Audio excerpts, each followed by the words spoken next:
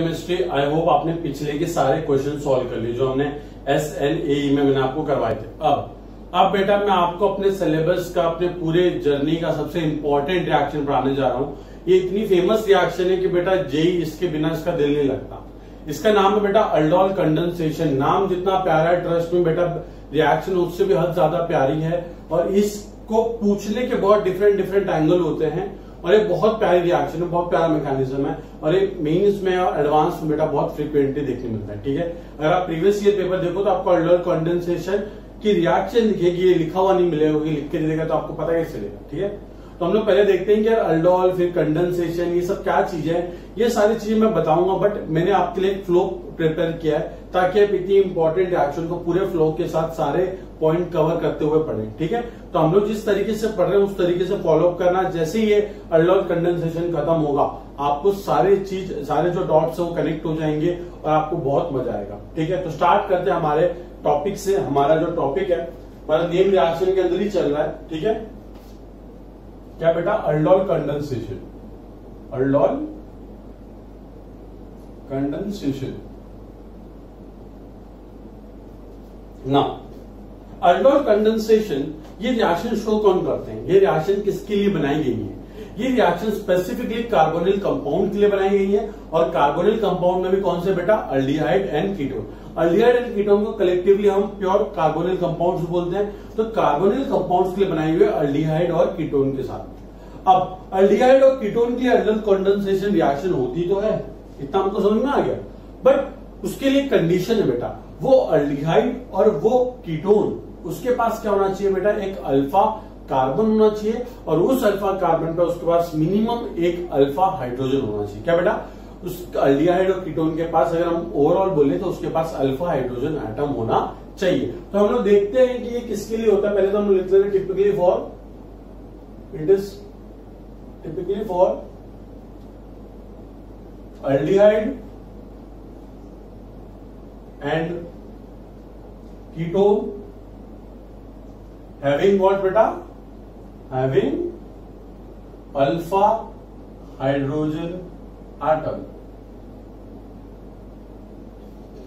Alpha hydrogen atom का मतलब क्या होता है? देखो सिंपल सी बात है।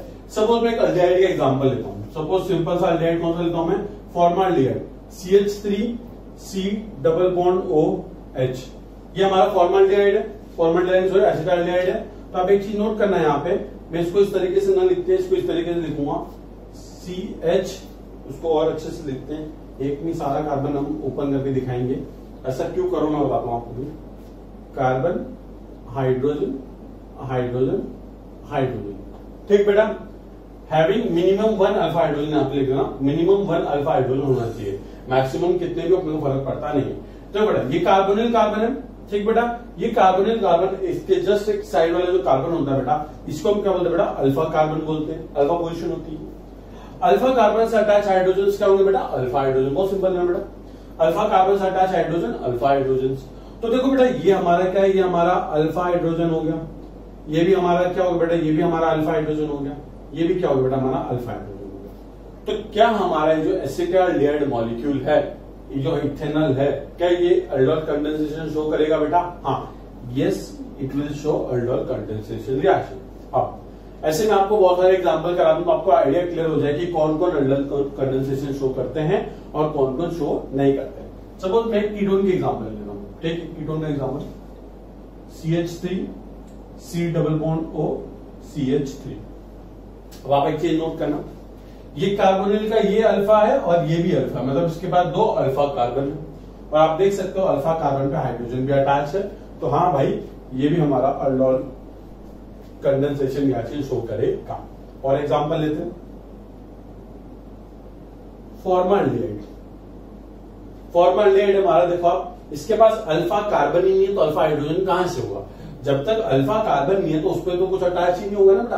अब कार्बन ही तो अटैच वाली बात ही कहाँ से आएगी अब अल्फ़ा कार्बन ही नहीं तो अल्फ़ा हाइड्रोजन भी नहीं. मतलब ये हमारा अल्डोल कंडेंसेशन रिएक्शन शो करेगा नहीं.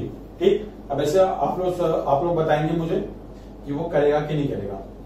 P H C double bond O H आपको बताना है कि ये अल्डोल कंडेंसेशन रिएक्शन शो करेगा कि नहीं करेगा? ये लोग, ये अब आप लोग करोगे? क्वेश्चन से आपके लिए कि एग्ज़ाम में ऐसी बात है which of the following will show the aldol condensation reaction or not तो आपको ऐसे एनएटी टाइप में आ सकता है। तो आपको अभी टिक ऑन ऐसे क्रॉस करके बताना है कि कौन अल्डर कंडेंसेशन शो करेगा और कौन नहीं करेगा, ठीक है? तो ये आपके लिए ये क्वेश्चन ये करो आप, उसके बाद मैं आपको और क्वेश्चन देता हूँ। और आपके लिए क्वेश्चन देता हूँ मैं। क्वेश्चन वही है कि following will show aldol condensation reaction or not ये हमारा एक क्वेश्चन है। और एक और क्वेश्चन देता हूँ मैं आपको।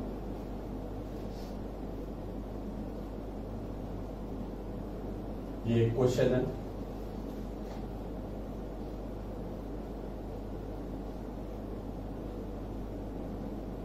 ये क्वेश्चन है।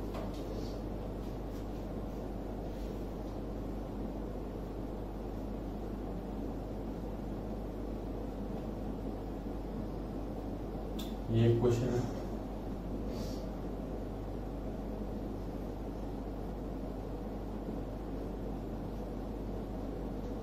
ये क्वेश्चन है। ठीक? आपको बताना है कौन कौन सा कंडेंसेशन रिएक्शन शो करेंगे और कौन नहीं करेगा।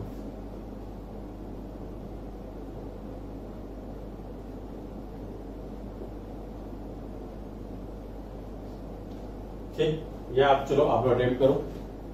आपको अल्फ़ा हाइड्रोजन फाइंड करना है। जिसके पास अल्फ़ा हाइड्रोजन होगा बेटा, वो अल्डर कंडेंसेशन रिएक्शन शो करेगा। और जिसके पास अल्फ़ा हाइड्रोजन नहीं है, वो अल्डर कंडेंसेशन रिएक्शन शो नहीं कर सकता। ठीक? तो जल्दी से जल्दी से आप लोग स्टार्ट हो जाओ। देखो PH C double bond O H है ना बेटा? कैसा होगा ये? एक बेंजीन रिंग है हमारे पास। और उस बेंजीन रिंग पे क्या अटैच बेटा? सी डबल बॉन्ड एच तो आप देखो बेटा, इस कार्बन का अल्फ़ा कार्बन ये हो गया, ठीक? अल्फ़ा कार्बन ने चार बॉन्ड बनाकर रख लिए मतलब उसके पास हाइड्रोजन नहीं है तो ये हमारा aldol condensation reaction benzyl show करेगा नहीं, ठीक? तो आप ये देखो बेटा, ये कार्बोनिल कंपाउंड है, हमारे पास साइक्लिक कीटोन है। अब आप देखिए, इसका ये अल्फ़ा कार्बन है और इसके पास ये अल्फ़ा हाइड्रोजन है। अब अल्फ़ा हाइड्रोजन है तो ये शो करेगा करेगा ना बेटा? देखो, इसके पास भी दो अल्फ़ा कार्बन है है ना बेटा? और दोनों अल्फ़ा कार्बन पे दो दो हाइड्रोजन अटैच है तो हमको मिनिमम एक ही चाहिए। तो इसके पास भी अल्फ़ा हाइड्रोजन है तो ये भी शो करेगा। वापस से देखो बेटा, ये कार्बोनिल कार्बन इसका ये वाला अल्फ़ा हो गया, पर इसने चार बॉन्ड बना के रखे हुए। बोला हाइड्रोजन नहीं है अल्फ़ा कार्बन है, पर अल्फ़ा हाइड्रोजन नहीं है। तो हमको क्या चाहिए बेटा अल्फ़ा हाइड्रोजन चाहिए तो ये नहीं शो करेगा। अब आप यहाँ देखो, ये कार्बोनिल है, अब नहीं, ये भी नहीं शो करेगा। क्यों नहीं करेगा बेटा? क्योंकि अल्फ़ा कार्बन पे अल्फ़ा हाइड्रोजन नहीं है। बट आप देखो बेटा, इस कार्बोनिल का ये अल्फ़ा है और ये भी अल्फ़ा है। एक अल्फ़ा पे नहीं है बट दूसरे वाले अल्फ़ा पे हाइड्रोजन प्रेजेंट है।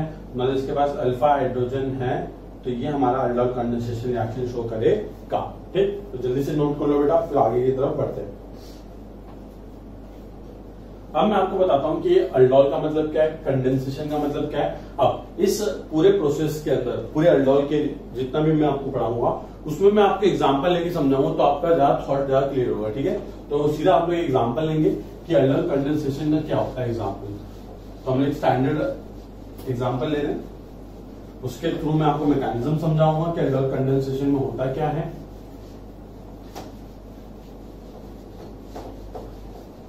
आपको एक नोट लिखना है नोट एक नोट लिख लो यहाँ पे कि aldol condensation reaction can be carried out in only very diluted very diluted मतलब देखो diluted basic medium aldol condensation reaction can be carried out in basic dilute basic medium ठीक है बेटा मतलब इसका मतलब क्या है? क्या एसिडिक मीडियम में नहीं कर सकते क्या? एसिडिक मीडियम में भी होती है रिएक्शन बट अब कैन बी और उसके बाद आप लोग एक काम करो, जहाँ बेसिक मीडियम लिखा है ना, उसके बाद ब्रैकेट में एसिडिक मीडियम भी लिख लो and in acidic medium as well वरना आपको दिक्कत हो जाएगी बाद में कि यार सर, आपने बोला था कि सिर्फ़ बेसिक में होती है नहीं। एसिडिक में भी होती है, पर वो हम लोग बहुत बात टाइम बाद पढ़ने वाले भी टाइम बहुत। इतने सारी चीज़ें पढ़ानी मेरे को अल्डोल पढ़ाना है क्रॉस अल्डोल पढ़ाना है सेल्फ अल्डोल पढ़ाना है रेट्रो अल्डोल पढ़ाना है इंट्रामोलिकुलर अल्डोल पढ़ाना है इंटरमोलिकुलर अल्डोल पढ़ाना है। मतलब अल्डोल के इतने सारे टाइप में बहुत मज़ा आने वाला बेटा बहुत सिंपल रिएक्शन है। देखो, आपको मैं एक जनरल मैकेनिज्म लिख के दिखाता हूँ, उससे पहले एक रिएक्शन लिख लेते हैं हम लोग, कि करना क्या चाहते हैं। ठीक है? सपोज़ मैंने सबसे स्मॉलेस्ट अल्डिहाइड लिया, यहाँ पर हम कीटोन भी ले सकते हैं कीटोन भी लेंगे टेंशन ना लो। दो मॉलिक्यूल लिए इसके मैंने, दो मोल लिए, और मीडियम रखा मैंने, क्या बेटा? डायलूट ओ एच नेगेटिव मतलब कि हमने बेसिक मीडियम लिया है, वो भी कैसा बेटा? डायलूटेड वाला। ठीक है? तो जो प्रोडक्ट बनता है, वो प्रोडक्ट कुछ ऐसा बनता है। C H three C H O H C H two C double bond O H अब एक बात समझो बेटा कि मैंने इसको अल्डोल नाम क्यों दिया? इसका नाम अल्डोल क्यों पड़ा? बिकॉज़ इस अल्डोल कंडेंसेशन रिएक्शन के अंदर, इस अल्डोल कंडेंसेशन रिएक्शन के अंदर क्या होता है कि ये जो रिएक्टेंट मॉलिक्यूल है, ये जो रिएक्टेंट मॉलिक्यूल है, ये खुद के साथ क्या होगा बेटा? कंडेंस हो जाता है। कंडेंस इन देखो स्टार्टिंग में मैंने इसके दो मॉलिक्यूल लिए थे फाइनल मुझे कितना मिला? एक मॉलिक्यूल मतलब कि दोनों मॉलिक्यूल आपस में क्या हो चुके हैं? कंडेंस हो चुके हैं। कंडेंस का मतलब क्या होता है बेटा चिपक जाना, दो से एक बनना, है ना बेटा? मतलब कि जैसे आप आप सिंगल आपकी शादी होगी तो आप क्या होगा कंडेंस हो गया मतलब कि आप और आपकी भी दोनों मिल चुके हैं आप दोनों अलग अलग नहीं हो, अब एक यूनिट ऑफ़ हो। वैसे ही यहाँ पे ये एक मॉलिक्यूल है, ये खुद के साथ कंडेंस होकर आप देख सकते हो, एक मॉलिक्यूल पे कितने कार्बन बेटा? दो कार्बन और जो हमारा फाइनल मॉलिक्यूल उसमें कितने कार्बन है? एक, दो, तीन, चार। अब बना कैसे, वो भी बता दो मैं आपको। तो कंडेंसेशन का मतलब क्लियर हो गया। क्या होता है बेटा? यही मॉलिक्यूल खुद के साथ कंबाइन हो जाएगा। उसको हम क्या बोलते हैं? कंडेंसेशन अगर हम और बात करें, जैसे कि हमारा एसिड है। एसिड को हीट कर दो अल्कोहल के प्रेजेंट में। तो क्या बनता है बेटा? एस्टर बन जाता है। है ना? और एस्टर क्या है? हमारा एक कंडेंस प्रोडक्ट है। वैसे उस तरीके से हम बात करेगा दो एसिड के मॉलिक्यूल उसको आप हीट कर दो तो अनहाइड्रेट बन जाता है। तो अनहाइड्रेट हमारा क्या कंडेंस प्रोडक्ट है। मतलब कंडेंस मतलब दो मॉलिक्यूल मिलकर एक मॉलिक्यूल बनाते हैं। ठीक है? इतना क्लियर है? अब अल्डोल नाम क्यों आया? बात सुन लो। अल्डोल नाम इसलिए आया क्योंकि ये जो प्रोडक्ट बनता है कैसे बनता है वही बताऊँगा आपको मैं दो मिनट शांत हो देखो, इसके पास क्या बेटा? एक अल्कोहलिक ग्रुप है। ओ एच अल्कोहलिक ग्रुप है। है ना बेटा? तो देखो, ये जो ऑल वर्ड है ना ऑल ये इसी के लिए आता है। ये अल्कोहलिक ग्रुप के लिए आता है। ठीक है? और दूसरा आप देख सकते हो, इसके पास कौन सा ग्रुप बेटा? अल्डिहाइडिक ग्रुप है। है ना? तो अल्डिहाइड का क्या यूज़ करते लोग ए एल डी तो देखो अल्डिहाइड एक ऐसा हमारे पास मॉलिक्यूल मिल रहा है, जिसमें एक अल्डिहाइडिक ग्रुप भी है और एक हाइड्रोक्सी ग्रुप मतलब कि हमारे पास एक अल्कोहल वाला ग्रुप भी है। तो अल्कोहल के लिए हम लोग क्या यूज़ करते हैं बेटा? आईपीएससी में ऑल यूज़ करते हैं और अल्डिहाइड के लिए ए एल यूज़ करते हैं। बड़े इन्होंने ए एल डी लिखा हुआ है। तो कोई फ़र्क नहीं पड़ता। तो ये मॉलिक्यूल को हम क्या बोलते हैं बेटा? इसी को हम बोलते हैं अल्डोल क्या बोलते हैं बेटा? अल्डोल बोलते हैं। इसी को हम क्या बोलते हैं बेटा? अल्डोल बोलते हैं। अल्डोल क्यों बोलते हैं? क्योंकि ये अल्डिहाइड रिप्रेजेंट करता है और ये वर्ड हमारा अल्कोहल का ग्रुप रिप्रेजेंट करता है, ठीक है? अब अल्डोल को एक और नाम से जाना जाता है, उसको भी हम लोग देख लेते हैं। क्या होता है देखो बेटा? यहाँ ये कार्बोनिल कार्बन है तो ये वाला कार्बन कौन सा बेटा? ये अल्फ़ा कार्बन होगा, ये वाला कौन सा कार्बन होगा बेटा? बीटा कार्बन होगा, ठीक है बेटा? तो बीटा पोजीशन पे क्या प्रेजेंट है बेटा? हाइड्रोक्सी ग्रुप तो इसको हम लोग बोलते हैं बेटा बीटा हाइड्रोक्सिक कार्बोनिल इसको हम लोग और किस नाम से जानते हैं? और इसको हम किस नाम से जानते हैं? बीटा हाइड्रोक्सी कार्बोनिल सही बड़ा देखो अल्फ़ा बीटा बीटा पे हाइड्रोक्सी ग्रुप और साथ में हमारे पास क्या है? कार्बोनिल ग्रुप है। अब मैंने कार्बोनिल क्यों लिखा? है यहाँ पे अलियाडी क्यों अलियाड क्यों नहीं लिखा? बिकॉज़ यहाँ पे एक अलियाडी ग्रुप भी हो सकता है। अब वो याद रखना है कि इसको अल्डोल बोलते हैं वो साथ में क्या बोलते हैं बेटा? बीटा हाइड्रोक्सी कार्बोनिल ठीक है? तो हमारे पास जो फाइनल प्रोडक्ट बनता है क्या मतलब बीटा हाइड्रोक्सी कार्बोनिल या फिर जिसको हम प्यार से क्या बोलते हैं? अल्डोल बोलते हैं। अल्डोल क्यों बोलते हैं? बहुत सिंपल चीज़ है। अल्डिहाइड ग्रुप प्रेजेंट है और साथ में अल्कोहल वाला ग्रुप भी प्रेजेंट है। दोनों एक साथ प्रेजेंट एक मॉलिक्यूल उसको हम बोलते हैं अल्डोल ठीक है? अब अब मैकेनिज्म मैं आपको बताता हूँ। मैकेनिज्म बड़ा प्यारा मैकेनिज्म है। देखो बड़ा मैकेनिज्म मैकेनिज्म बड़े आराम से देखना, कोई दिक्कत नहीं आपको। देखो मैकेनिज्म में सबसे पहले क्या होता है? और इस चीज़ में जो इंटरमीडिएट बनता है ना अल्डोल के प्रोसेस में जो इंटरमीडिएट बनता है इनोलेट आयन वो बहुत इंपॉर्टेंट है। इनोलेट क्या होता है, वो बताता हूँ आपको देखते हैं हम लोग कैसा मैकेनिज्म होता है। हमारे पास क्या बेटा, एक बेसिक मीडियम हमारे पास एक बेसिक मीडियम हमारे पास O H negative ion present है सोल्यूशन के अंदर। और हमने मॉलिक्यूल लिया एसिटाल्डिहाइड का।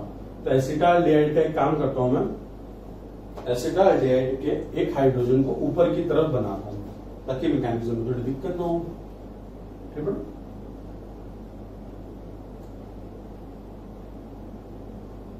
ये हमारे पास ये ठीक इतना समझ आ गया आपको तो बड़ा एक काम करो आप लोग इतना पार्ट लिख लो ताकि मैं ये दोनों चीज़ मिटा दू। उसको अल्डोल और बीटा हाइड्रोक्सी कार्बोनिल बोलते लिख लेना है ठीक है?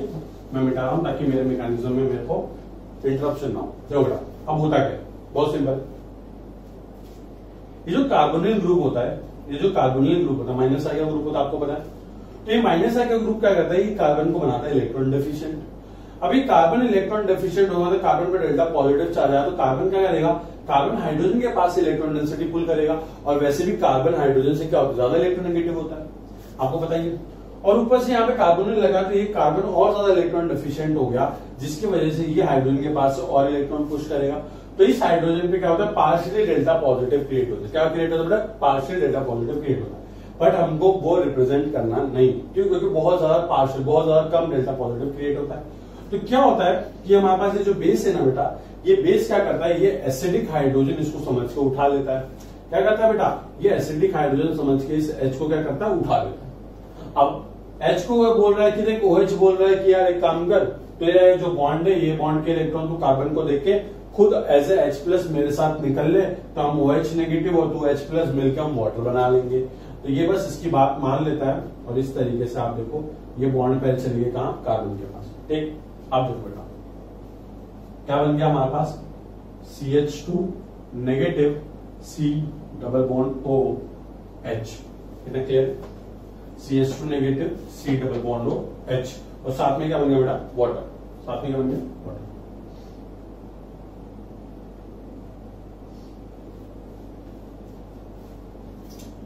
ऐसा बना लो ठीक? अब होता क्या बेटा अब एक, चीज़ नोट करना कार्बन पे नेगेटिव हाई अनस्टेबल तो क्या हो सकता है कि ये वाटर के पास से H प्लस एक्सट्रैक्ट करके वापस से बैकवर्ड डायरेक्शन में जा सकता है है ना बेटा? वापस से बैकवर्ड डायरेक्शन में आ सकता है। तो हमेशा याद रखना कि रिएक्शन क्या होती है? इक्विलिब्रियम होती है। ये फॉरवर्ड भी जा रही होती है बैकवर्ड भी आ रही होती है। बट फॉरवर्ड जाने के लिए हम क्या करते हैं कि OH माइनस की कॉन्सेंट्रेशन को कम रखते हैं। क्यों कम रखते हैं? मैं आपको बताऊँगा कि हम लोग हाईली कॉन्सेंट्रेटेड OH माइनस क्यों नहीं यूज़ करते। ये थोड़े दिनों में आपको पता चल जाएगा। अभी जितना बता रहा हूँ उतना बात ठीक? हमको क्या मिला? हमको ये एक कार्बन मिला है और ये मिला अब एक बात उठती है कि बेटा, ये कार्बन से टच हाइड्रोजन से कहाँ से एसिडिक हाइड्रोजन हो गया जो आपने इसको उठा लिया? बात है ना? पॉइंट है ना? अब दिक्कत क्या होती है बेटा? हम लोग एसिडिक हाइड्रोजन किसको बोलते हैं? कि उसका कॉन्जुगेट बेस क्या होना चाहिए? स्टेबल होना चाहिए। तो अगर ये एसिड की तरह काम कर रहा है तो इसमें से जब एच प्लस गया तो ये क्या जनरेट हुआ उसको कॉन्जुगेट बेस और आप एक चीज़ नोट करोगे कि ये जो कॉन्जुगेट बेस मतलब जो कार्बोनायन बना हुआ है, ये कार्बोनल के साथ क्या कर सकता है बेटा? रेजोनेंस कर सकता है। और ये क्या होता है? रेजोनेंस स्टेबलाइज होता है। तो एक चीज़ नोट करना कि इसका क्या होता है बेटा? ये रेजोनेंस स्टेबलाइज होता है तो इस तरीके से हम रेजोनेटिक स्ट्रक्चर बना सकते हैं। कैसे बेटा? ये देखो, ये यहाँ पे इलेक्ट्रॉन गए। और ये यहाँ पे इलेक्ट्रॉन है ना बेटा? ये कैसा बन जाएगा?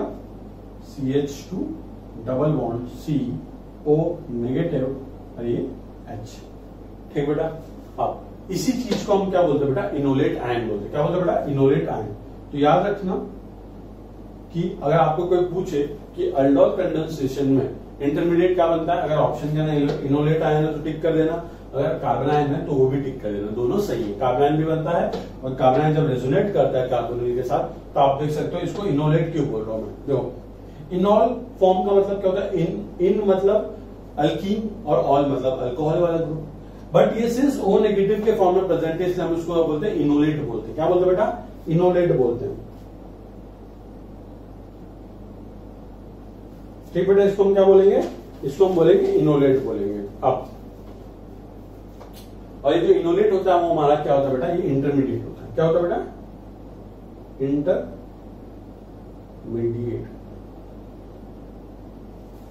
अब, इतनी बात क्लियर है कि इनोलेट इंटरमीडिएट है हमारा? इनोलेट अब इनोलेट क्यों बोलते हैं वो भी समझ में आ गया आपको इन डबल बॉन्ड ओलेट इसके लिए आया ओ नेगेटिव के लिए, ठीक? एक ही कार्बन में डबल बॉन्ड और ओ नेगेटिव इतना आपको क्लियर होगा पर इसका हम लोग यूज़ नहीं करेंगे। हम लोग रिएक्शन मैकेनिज्म को इसके थ्रू आगे लेके जाएँगे। जो कार्बनाइन हमारा इंटरमीडिएट बना है इसका रेजोनेट करके हमने इनोलेट को बना दिया। बस ये इनोलेट ये दिखाने के लिए बनाया है कि जो कार्बनाइन बना है वो रेजोनेंस के थ्रू स्टेबलाइज इसलिए रिएक्शन क्या हो रही है फॉरवर्ड डायरेक्शन में आ रही है। अब ये कार्बनाइन की रिएक्शन अब क्या हो गया? अब इसको हम कैरी फॉरवर्ड करेंगे। और अब जगह कहा हमारे पास? हम्म, यहाँ यहाँ जगह। ये हमारा पहला स्टेप समझ लीजिए आप, ये पहला स्टेप अब सेकेंड स्टेप में क्या होगा बेटा? सेकेंड स्टेप में ये जो हमारा, ये कार्बनाइन बना है ना और आप देख सकते हो मैंने ये कितने मॉलिक्यूल लिए थे, दो मॉलिक्यूल लिए थे। एक मॉलिक्यूल यूटिलाइज हो गया। अब दूसरे मॉलिक्यूल का रोल आता है। C H three C double bond O H और साथ में जो हमारा इंटरमीडिएट बना है क्या बेटा? C H two negative C double bond O H इतना क्लियर है? अब कार्बन पे क्या होता है डेल्टा पॉजिटिव? और यहाँ पर डेल्टा नेगेटिव क्यों? क्योंकि option more electronegative carbon carbon पे चार्ज के सेपरेशन हो जाता है। आप देख सकते हो कि इलेक्ट्रॉन डेफिशिएंट है, ये इलेक्ट्रॉन रिच है इलेक्ट्रॉन रिच है तो एक्ट करेगा किसकी तरह? न्यूक्लियोफाइल की तरह। और एक्ट करेगा बेटा किसकी तरह? इलेक्ट्रोफाइल की तरह। इतना समझना था आपको। तो क्या होगा? ये जो कार्बन पे नेगेटिव चार्ज है, ये अटैक मारेगा कहाँ बेटा इस कार्बोनल कार्बन पे।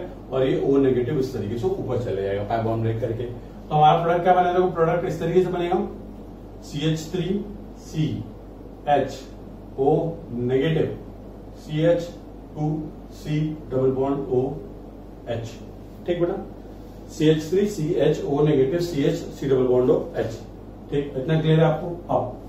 पर आपको पता है ये क्या होता है बेटा? ये अनस्टेबल है, क्यों? ऑप्शन में नेगेटिव चार्ज है। तो क्या होता है? ये रिएक्ट करता है किसके साथ बेटा? ये रिएक्ट करता है आपका वाटर के साथ। और क्या करता है? ये ओ नेगेटिव यहाँ से एक H प्लस उठा लेता है। तो देखो H प्लस उठा लिया तो क्या बन गया बेटा?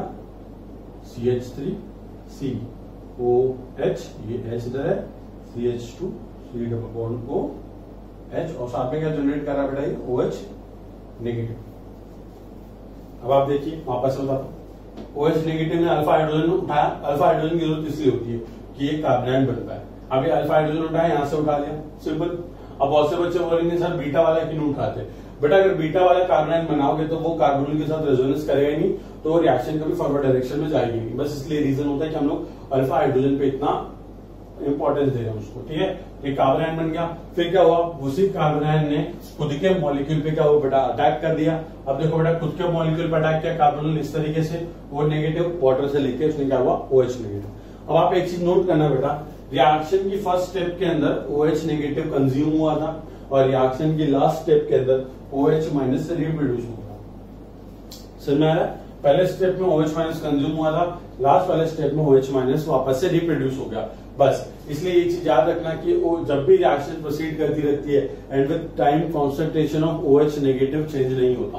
क्योंकि तो जितना कंज्यूम हो रहा है, उतना रिप्रोड्यूस उतना ही रिप्रोड्यूस हो रहा है तो कॉन्सेंट्रेशन पे इफ़ेक्ट नहीं पड़ता ओ एच माइनस के। इतना समझ आ गया आपको? चलो। तो ये हमारी आप लोग अल्डोल कंडेंसेशन रिएक्शन है और आप देख सकते हो कि किस तरीके से ये दो मॉलिक्यूल कंडेंस होकर क्या बन गया बेटा, एक सिंगल मॉलिक्यूल इसको हम क्या बोलते हैं बेटा कंडेंसेशन और अल्डोल नाम क्यों पड़ा बेटा? बिकॉज़ एक ऐसा मॉलिक्यूल बनता है जिसके अंदर एक एल्डिहाइड ग्रुप और एक हाइड्रोक्सी ग्रुप मतलब एक अल्कोहल वाला फंक्शनल ग्रुप प्रेजेंट है। तो ये हमारा क्या होता है बेटा अल्डोल होता है। ठीक? तो जल्दी से छाप लो। अब, इसके बाद अब कुछ इंपॉर्टेंट पॉइंट इस रिएक्शन के रिगार्डिंग वो हम लोग लिखेंगे, पर पहले आप इसको छाप लीजिए। पहला स्टेप और वो दूसरा स्टेप है? ठीक है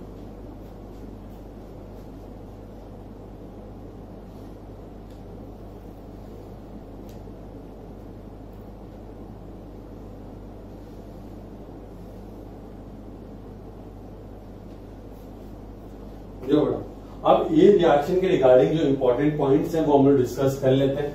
आप आप लोग लिखोगे कैरेक्टरिस्टिक्स ऑफ़ दिस रिएक्शन या फिर important points regarding this reaction जो भी सही लगे आपको लिख लो मैं आपको पॉइंट लिखवाता हूँ। आप पहला। पहला जो पॉइंट है वो हम लोग ये लिखेंगे कि concentration of O H minus ion will not change with with what, beta? With time or as reaction process. ठीक? तो concentration of OH minus ion will not change with time. पहली चीज़। सेकेंड चीज़। अब, ये जो अल्डोल बनता है बेटा, ये जो अल्डोल बनता है, ये क्या होता है बेटा? ये अनस्टेबल होता है।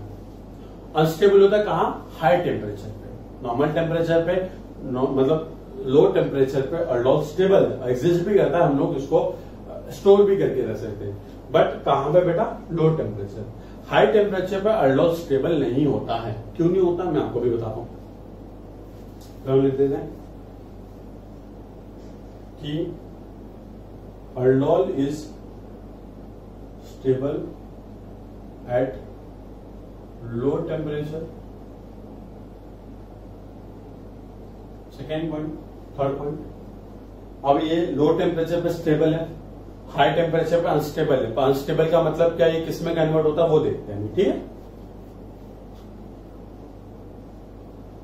Aldol is unstable at high temperature because it can undergo in elimination reaction.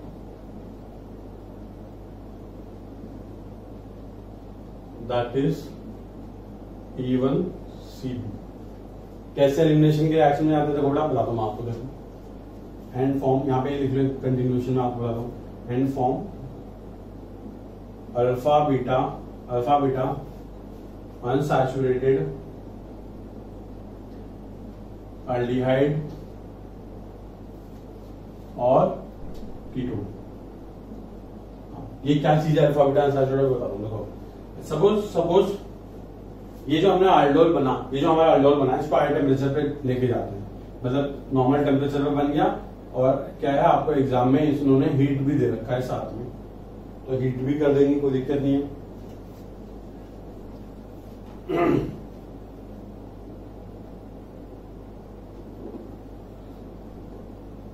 तो लिख रहा हूँ बताता हूँ आपको भी देखो रिएक्शन में क्या प्रोड्यूस हुआ फिर से? OH नेगेटिव है ना बेटा? तो हमारे पास OH नेगेटिव का कॉन्सेंट्रेशन अवेलेबल है हमारे पास मीडियम अभी बेसिक है।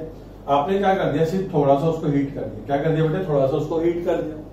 तो हीट करने पे क्या होता है? आप देख सकते हो, आप देख सकते हो कि ये ये भाई साहब, ऐसे क्या निकल जाते हैं बेटा? वाटर निकल जाता है। और ये होता क्यों है मैं आपको भी बता दूँ। ये होता क्यों मैं आपको भी बता दूँ। और आप ये भी सोच रहे होंगे कि सर ओ एच यहाँ से और एच यहाँ से क्यों निकला? वो भी सारे सारे क्वेश्चन में मिलेंगे देखो बेटा, क्या बन जाएगा? C H three C H double bond C H C double bond O H ठीक? और इसी का नाम होता है बेटा अल्फ़ा बीटा अनसैचुरेटेड अल्डिहाइड या फिर कीटो डिपेंडिंग अपॉन यहाँ पे क्या ग्रुप जो कार्बोनिल ग्रुप ये अल्फ़ा कार्बन ये बीटा कार्बन ये गामा डेल्टा ऐसे सो अब आप देख सकते हो अल्फ़ा और बीटा कार्बन के बीच में क्या प्रेजेंट है बेटा? डबल बॉन्ड प्रेजेंट है। और डबल बॉन्ड को हम क्या बोलते हैं? अनसैचुरेशन इसलिए इसका नाम क्या पड़ता है बेटा? इसका नाम पड़ता है अल्फ़ा बीटा अनसैचुरेटेड एल्डिहाइड भाई मैं कीटोन नहीं लिखूँगा क्योंकि सिर्फ़ ठीक? अल्फ़ा बीटा अनसैचुरेटेड एल्डिहाइड और साथ में क्या बेटा? साथ में वाटर बाय प्रोडक्ट निकलेगा और याद रखना कि रिएक्शन का मैकेनिज्म क्या होता है बेटा ये? E one C two conjugate base के थ्रू बनते रिएक्शन नॉर्मल हाई रिएक्शन ये। क्योंकि वो एच माइनस अच्छा लिविंग ग्रुप नहीं इसलिए। अब अब आप पूछोगे कि सर अल्फ़ा बीटा पोजीशन पे क्यों डबल बॉन्ड आया? ये बीटा और गामा पोजीशन पे क्यों आया? ठीक? बहुत सिंपल सी चीज़ है। देखो बेटा, यहाँ पे जो हमारा अल्फ़ा बीटा अनसैचुरेटेड एल्डिहाइड बनता है, ये क्या होता है बेटा? ये रेजोनेंस स्टेबलाइज होता है। क्या होता है बेटा? यहाँ पे लिख लेंगे हम लोग कि because it will always form, it will always form resonance stabilize